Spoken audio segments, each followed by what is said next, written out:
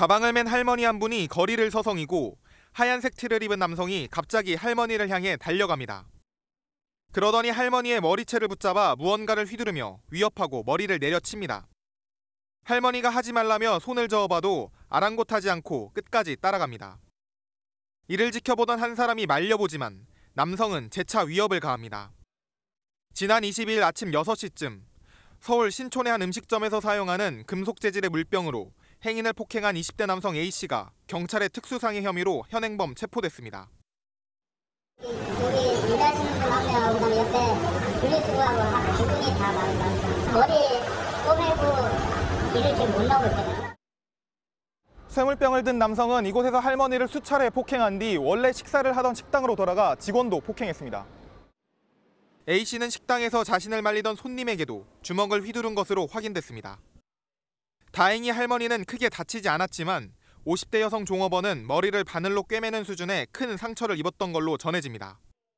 경찰 조사 과정에서 A씨는 술에 취해 아무것도 생각나지 않는다고 진술했습니다. 서울 서대문 경찰서는 A씨에 대한 조사를 끝냈으며 조만간 불구속 송치할 예정입니다. 부산의 한 도로를 달리는 택시 안입니다. 술에 취한 남성이 행설 수술합니다. 박어, 박어. 갑자기 욕설을 퍼붓더니 운전석 쪽으로 몸을 기대 택시 기사를 때릴 듯 위협합니다.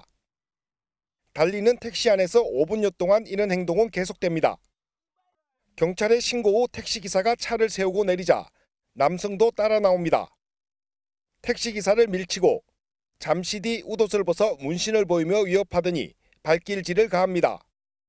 기사가 쓰러져 몸을 제대로 가누지 못하지만 폭행은 계속됩니다. 신고를 받은 경찰이 도착하고서야 상황이 끝납니다. 현장에서 붙잡힌 남성은 20대 해군 부사관, 60대 택시기사는 허리 등을 다쳐 병원에 입원해 치료를 받고 있습니다. 눕혀서 목을 조르고 때렸으니 갈비뼈가 자기 아들보다 나이가 훨씬 어린 사람이 차례적으로 때렸는데 경찰은 특정범죄 가중처벌법상 운전자 폭행 혐의로 해군 부사관을 입건해 사건을 군 경찰에 넘겼습니다. 어두운 밤 순찰차 한 대가 쏜살같이 대로를 지나갑니다. 어젯밤 10시 반쯤 서울 올림픽대로에서 음주운전 차량이 있는 것 같다는 112 신고를 접수받은 경찰이 음주 차량을 추격하는 모습입니다. 경찰은 신고 30분 만에 차량을 붙잡았는데 운전자는 배우 진예솔 씨로 확인됐습니다. 배우는 이 삼거리에서 신호대기를 하다 경찰에 적발됐는데 당시 기어는 주행 상태였습니다. 진 씨의 혈중 알코올 농도는 면허 취소 수준이었는데 서울 신사동에서부터 약 17km를 운전하며 가드레일도 두 차례나 들이받은 것으로 알려졌습니다. 진 씨는 본인의 SNS에 절대 하지 말아야 할 큰 잘못을 했다며 반성의 글을 올렸고 진 씨의 소속사도 변명의 여지가 없다며 깊은 책임을 통감하며 자숙하겠다고 밝혔습니다. 한 여성이 비틀거리며 건물 주차장에 들어서더니 주차장 직원이 있는지 살펴봅니다. 그러곤 50분가량 차량 주변을 맴돌며 차량에 탔다 내렸다를 반복하더니 결국 차를 몰고 출발합니다. 20대 여성 A씨가 지난 6일 밤 11시 20분쯤 서울 강남의 한 건물에 발레 파킹된 차량을 훔쳐 달아나는 모습입니다. 1km가량을 주행하다 이곳 사거리에 정차한 여성은 음주운전 의심 차량과 충돌할 뻔했다는 신고를 받고 출동한 경찰에 검거됐습니다. 현장에서 측정된 A씨의 혈중 알코올 농도는 0.179%로 면허 취소 수치였습니다. 경찰은 조사 과정에서 차량에 기재된 차주 번호와 A씨의 전화번호가 일치하지 않는 점을 확인하고 절도 혐의까지 적용해 현행범 체포했습니다. 조사 결과 해당 차량은 건물 발레 파킹 직원이 퇴근하며 키를 꽂아놓은 상태였던 것으로 확인됐습니다. 경찰은 A씨가 차량을 훔치려 한 고의성이 있는지 들여다보고 있습니다. 지난해 10월 가수 신혜성 씨가 만취해 음식점에 있는 남의 차량을 몰았을 때 경찰은 고의성이 없다고 판단, 절도 대신 자동차 불법 사용 혐의를 적용한 바 있습니다. 서울 수서경찰서는 절도 혐의 적용 여부는 수사를 통해 판단해야 한다며 차량 불법 사용 혐의로 변경될 가능성도 있다고 밝혔습니다. 어두운 새벽 두 남성이 다급히 추격전을 벌이는 모습이 CCTV에 포착됐습니다. 어제 새벽 1시 20분쯤 택시에 무임 승차한 50대 남성이 기사를 폭행하고 도주하는 장면입니다. 추격전을 벌인 남성은 이 주차장 뒤로 숨었는데 뒤따라온 택시기사가 넘어지자 다시 폭행했습니다.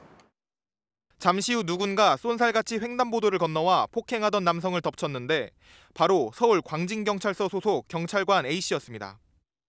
길 건너편에서 누가 뛰어오더라고요. 하얀색 길을. 와가지고 이제 그 위에서 폭행하는 사람을 제압하고 계속 그 순찰차 올 때까지 계속 제압하고 있었어요. A씨는 밤늦게 강원도 출장을 다녀온 뒤 퇴근하던 길이었는데 우연히 사건 현장을 목격하고 신속히 상황을 정리해 더 큰 피해를 막을 수 있었습니다. 남성을 제압한 A씨는 순찰차가 올 때까지 현장을 지키다 온전히 신병인계가 완료된 뒤 현장을 떠났습니다. 서울 광진경찰서는 택시기사를 폭행한 남성을 운전자 폭행 혐의로 입건해 조사했다고 밝혔습니다. 늦은 밤 한적한 교차로에서 젊은 남녀가 횡단보도 신호를 기다립니다. 잠시 후 흰색 차량 한 대가 달려와 속도를 줄이지 않고 우회전하면서 보행자 두 명을 들이받고는 그대로 달아납니다. 한 피해자가 일어나 쓰러져 있는 다른 피해자 곁으로 다가가 상태를 살핍니다. 집사람이 이제 해가지고 많이 목격을 거기다가 사고 나는 소리를 많이 들었습니다. 완전히 사무실까지 소리 다 들릴 정도였습니다. 시민의 신고를 받고 출동한 경찰은 가해 차량을 수배해 신호 대기 중이던 뺑소니 운전자를 긴급 체포했습니다.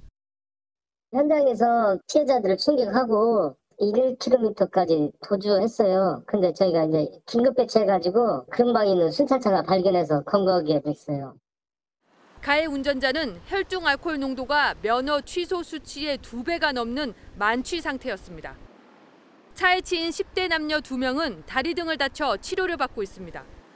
경찰은 음주 뺑소니 사고를 낸 20대 운전자를 특정 범죄 가중처벌법 위반 등의 혐의로 구속영장 청구를 검토할 방침입니다. 탑차 한 대가 빠른 속도로 내달립니다. 그 뒤를 경찰차가 바짝 쫓아갑니다. 신호를 무시하고 달리던 탑차는 마주오던 차를 들이받을 뻔했습니다. 또 다른 경찰차가 합세해 도주로를 막아보지만 차량은 인도로 올라타 요리조리 피해 도망갑니다. 전 여자친구를 폭행하고 달아난 40대 남성은 경찰의 추격을 따돌리며 골목길에서도 속도를 늦추지 않습니다.